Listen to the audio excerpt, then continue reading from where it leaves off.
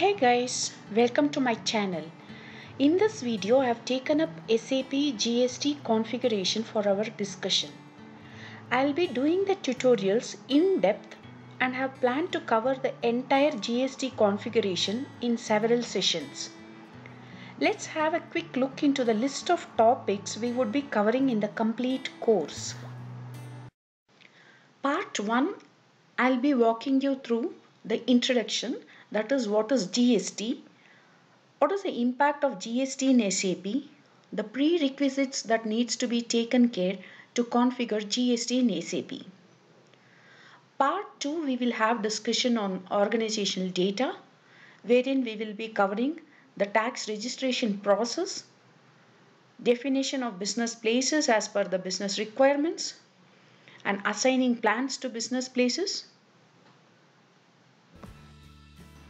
In part 3, we will see the creation of HSN and SAC codes and master data related changes which includes your material master, service master, vendor master, customer master and creation of your GL accounts to capture GST. In part 4, we will be seeing tax and pricing procedures that is the tax settings which you need to maintain in material management and sales and distribution modules.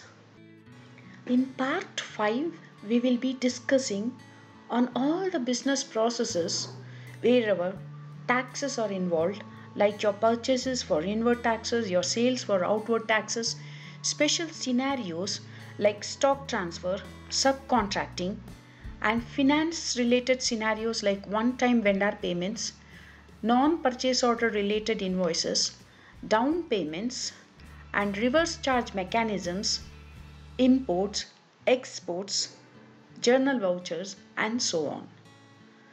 Part 6 we have got for our discussion the GST returns where we'll be seeing the types of GST returns and the filing process itself. Since the list for our discussion is pretty lengthy, and also that I wanted to train you in depth, I have planned to discuss these topics in several sessions. I will be releasing videos almost every alternative day. So please stay tuned in and make use of these videos to learn GST in SAP.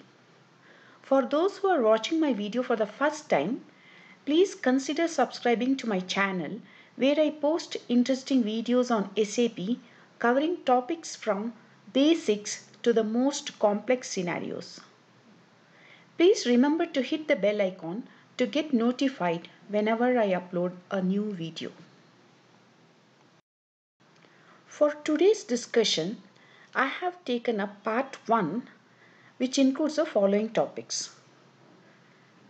An introduction into what is GST, what is the impact of GST in SAP and the prerequisites that needs to be taken care to configure GST in SAP. We all know goods and services tax that is GST is an indirect tax. Indirect tax is so called as it is paid indirectly by the final consumer of goods and services while paying for purchase of goods or for enjoying services.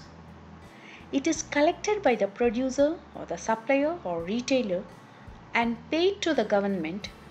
Ultimately, the GST is paid by the final consumer. GST India is a system of indirect taxation in India. It was introduced by the 101st Amendment to the Constitution Act 2016. GST is a comprehensive levy on manufacture, sale and consumption of goods and services. Now what is comprehensive levy? It is called comprehensive levy because it has subsumed almost all the indirect taxes except very few. The table here shows the indirect taxes that are replaced by GST. That is the reason GST is called a comprehensive levy of goods and service tax. Because it has subsumed the long list of indirect taxes like under the central taxes we had the central excise duty service tax special additional duty of customs central sales tax and so on. And under state taxes we had value added tax octroi and entry tax purchase tax luxury tax and a long list of such indirect taxes. Now these taxes are subsumed that is the reason we call GST as comprehensive levy of goods and service tax on manufacture, purchase and sale of goods and services. The present GST regime is effective from 1st July 2017. As per the current regime, there is a dual levy with state or union territory GST and central GST. You also have integrated GST for the interstate supplies which is a sum total of CGST and SGST or Union Territory GST as the case may be. Union territories with legislature that is Delhi and Puducherry will adopt SGST Act and the other five union territories without legislatures will adopt UTGST Act. In simpler terms, supply of goods and services shall either be intrastate or interstate. An intrastate supply is one where the provider and the recipient are both located in the same state or the same union territory. The supply of goods and services shall be interstate if the provider and the recipient are located in different states or different union territories. So now any business transaction can have any of the following combination of taxes. Now, for example, supply of goods and or services happening within a state that is an intrastate shall attract CGST and SGST for supply of goods and services within union territories that is intra union territory you attract CGST and UTGST for supply of goods and or services across states and or union territories that is interstate or inter-union territory IGST applies. Now let's see the features of GST India. The central government levies the central GST, state government levies the state GST, central government also levies the integrated GST and transfers the tax to the destination state. That is the revenue out of the IGST is transferred to that particular state where the actual supply happens. That is the place of supply. This is as against to that of the origin in the previous re regime. So now it is based on the destination the taxes are calculated and distributed. Now while exports are zero rated, IGST is levied on imports of goods to India.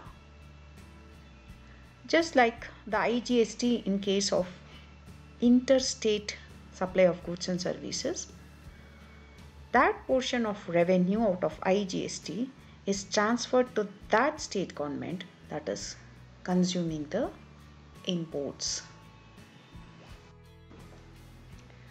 Another important feature of GST is the GST law allows the business to reduce their tax liability by claiming credit to the extent of GST paid on purchases. That is, the tax that a business pays on a purchase can be utilized to reduce its tax liability when it makes a sales.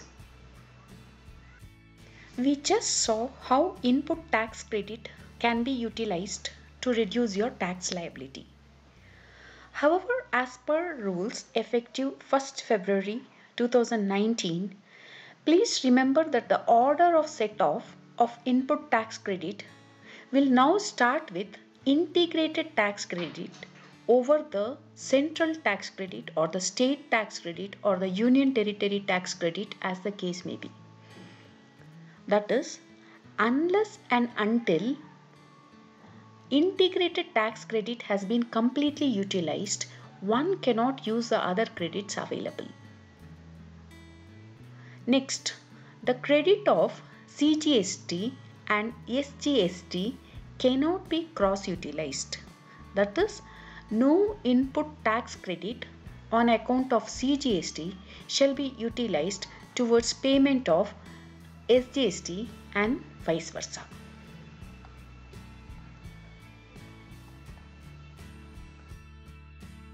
This slide is about how goods and services are divided into five different tax slabs for collection of tax at five different rates that is 0%, 5%, 12%, 18% and 28%. There are still certain products which are not brought under the GST regime and are still taxed under the previous tax regime. There are certain other products which are now taxed at 28% GST that attracts a cess of 22% or more like the aerated drinks, luxury cars, tobacco products, and so on. Now let's see the prerequisites that needs to be taken care before implementing GST in SAP. As per SAP note 1175384, you need to have the following minimum support pack level for SAP underscore APPL software component to get subsequent support from SAP for all the legal changes for country India version with regards to all indirect taxes.